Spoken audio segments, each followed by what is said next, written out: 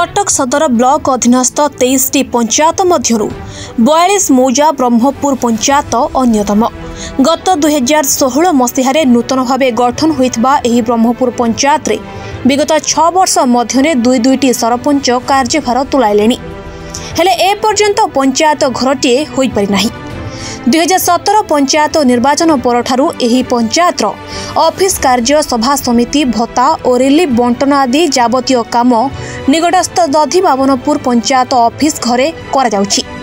ଫଳରେ ଅନେକ ସମୟରେ ଉଭୟ ସରପଞ୍ଚ ଓ ପଞ୍ଚାୟତ ଅଧିକାରୀଙ୍କୁ ଆପୋଷ ବୁଝାମଣାରେ ଅଫିସ କାମ କରିବାକୁ ପଡୁଛି। ଏପରି ସ୍ଥଳେ ବୃଦ୍ଧ ମହିଳା ତଥା ଶାରୀରିକ ଅକ୍ଷମ ହିତାଧିକାରୀମାନେ ପ୍ରାୟ ଦୁଇ ତିନି କିଲୋମିଟର ବାଟ ଅନ୍ୟ ପଞ୍ଚାୟତ ଅଫିସକୁ ଯିବାକୁ ପଡୁଛି।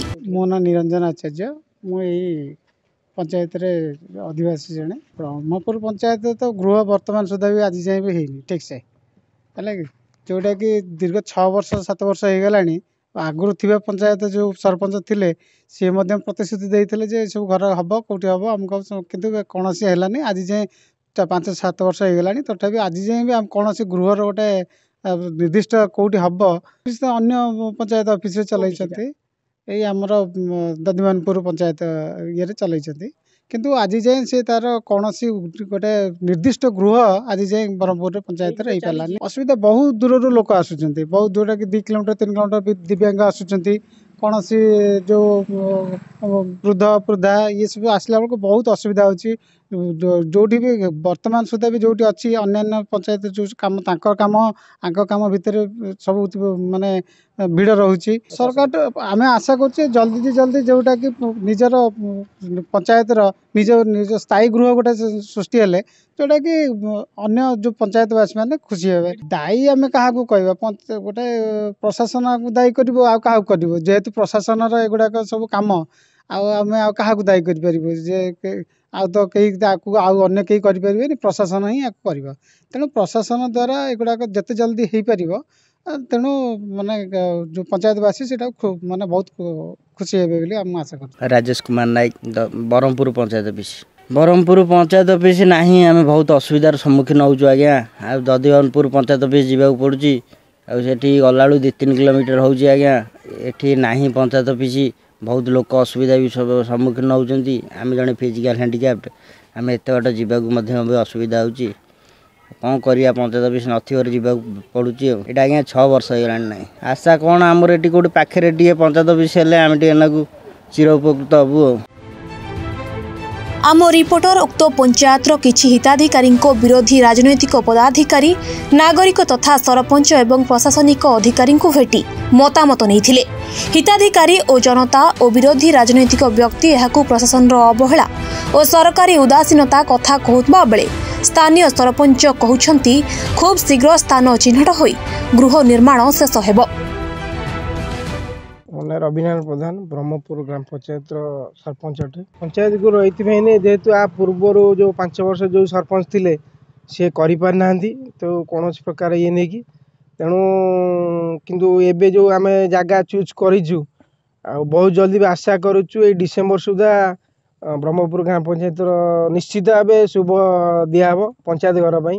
ଏଇଟା ସୁନିଶ୍ଚିତ ବି ଆମେ ସଂକଳ୍ପ ବି ରଖୁଛୁ। ଆମ ସମ୍ପୂର୍ଣ୍ଣ ସାତ ମାସ ହେଇଗଲା। ସରକାର ସ୍ତରରେ ଦୁଇ ଜାଗା ଜାଗା ଫାଇନାଲ୍ ହେଇଛି ଯେହେତୁ ଅ, ଗୋଟେ ଜାଗାରେ ବି ଅଫିସିଆଲି ଆସି କ୍ୟାନସେଲ୍ କରିଛନ୍ତି ଯେହେତୁ ନଦୀପଟା ଯୋଗୁରୁ।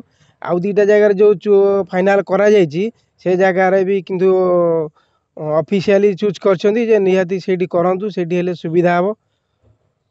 ଆ ପୂର୍ବରୁ ଯେଉଁ ରହୁଥିଲେ ଆମର ପୂର୍ବ ସରପଞ୍ଚ ତେଣୁ ସିଏ ବି ଗୋଟେ ଜାଗା ଚୁଜ୍ କରିଥିଲେ ଯେଉଁଟାକି ସେ ଜାଗାରେ ସିଏ କରିପାରିନଥିଲେ ତେଣୁ ଆଶା କରୁଛୁ ନିଶ୍ଚିତ ଭାବେ ଏଇ ଯେଉଁ ଦୁଇ ଜାଗାରେ ଗ୍ରାମବାସୀମାନଙ୍କ ଉପସ୍ଥିତିରେ ଯେଉଁ ଦୁଇ ଜାଗା ସିଲେକ୍ଟ କରାଯାଇଛି ନିଶ୍ଚିତ ଭାବେ ଏଇ ଡିସେମ୍ବର ସୁଦ୍ଧା ଏଇ ବ୍ରହ୍ମପୁର ପଞ୍ଚାୟତର ସର- ଇଏ ପଞ୍ଚାୟତ ଘର ନିଶ୍ଚିତ ଶୁଭ ଦିଆହେବ।